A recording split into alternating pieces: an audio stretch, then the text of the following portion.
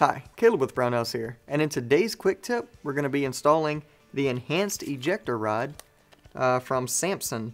And this fits the Ruger Wranglers and the Ruger Single Sixes, and when you think of Samson, you probably don't think single action accessories, um, but they make this one for it.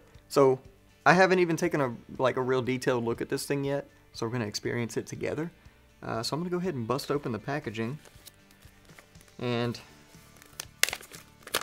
I assume I can just pull it off. Nope, it's still sealed. Bear with me. So we'll just cut this open here and slide it out. So this one is a bullseye style, and that basically just refers to the actual latch itself. And I should also state, if you don't know what the ejector rod is on this thing, um, it's this piece right here that you use to eject the uh, the rounds from the firearm. See, goes right through there and ejects them. All right, so another question is why would why the heck would you need to change this or upgrade it? Um, honestly, you don't. It's all personal preference. But as you can see, there is a size difference on the actual lever itself, and I'll show you that a little bit closer whenever we get the old one out. Um, so first thing we're going to do is take the firearm, of course make sure it is indeed unloaded, and uh, then from there we can go ahead and get started.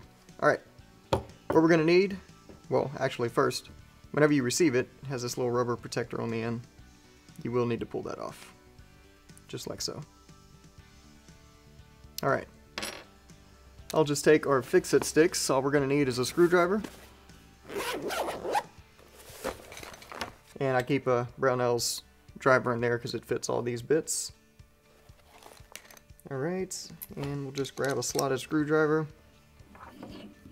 And we will insert it right in the front of the ejector rod housing. And unscrew it. This one is a little tight here. Just be careful with it. Make sure you're not going to tear up anything. Looks like they do put a little bit of Loctite on here. Or some sort of thread locker, I should say. Alright, now you want to hold your ejector rod housing because there is a spring in there. Hold So if, as you can see, I'm holding it tight to the barrel. I'm just going to pull that screw the rest of the way out. Yeah, look at all that Loctite on there. You can see it. Alright, and then now we can just remove our ejector rod and housing and spring. It all comes off just like that. Now if you flip it upside down, or close to upside down, you can see there's a channel that goes all the way back. You literally just slide everything out just like so. Then you can take the spring off. And as promised, I'm going to show you the up close difference between the actual uh, levers there. This is the factory smaller one. And this is the Samson Target one. Alright, so we'll just take this old one, set it out the way. And what I'm going to do real quick here is just clean up this screw a little bit before we put it back in. And if you want, grab a rack here. If you want, you can reapply a little bit of Loctite on there once you cleaned it up. Uh, for what we're doing right now, we're not going to. I'm just going to Torque it down nice and good. I'm not going to put any more Loctite on there. We want to get most of this dried Loctite off of there. Alright. So now you can take your new ejector rod and your spring, and if you notice, one end of your spring is flared, alright? That's going to face towards the gun the smaller end of the spring is going to slide on your ejector rod. Just like that. Now you insert the rod and the spring into the housing through the slot. Alright, now if you look at the front of your frame, there's a shoulder on your ejector rod that's going to go into that frame, but you also have to compress the spring, right? So we're going to set them on there, push it in,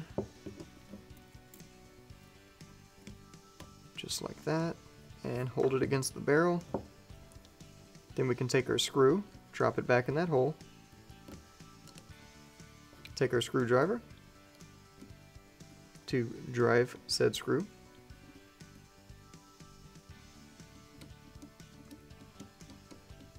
And tighten it down nice and snug. Alright, and that's all there is to it. We can test it out real quick here. Just open your loading gate and run the rod down.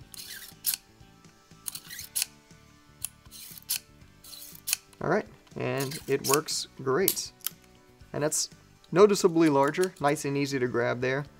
Um, so honestly, a, you know, a, a, a good, worthwhile upgrade in my opinion. Alright, so if you have any questions or comments, uh, you're watching this on YouTube, feel free to post them down below. If you need help with anything, as always, feel free to give us a call on the tech line.